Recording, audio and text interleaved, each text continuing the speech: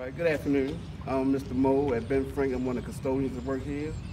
And um, reason why I'm here because I'm talking about this recycling bin that's a blessing to Ben Franklin. Because usually we set our recycle over here against the fence.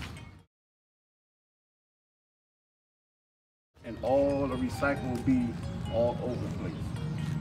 But with this recycling bin, it makes it more easier and it makes the community more cleaner because the recycling is not on the ground.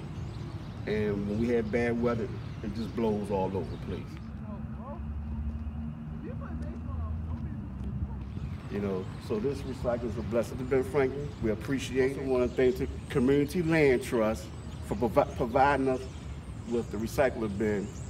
And also thank Destiny, who's been here since middle school and high school.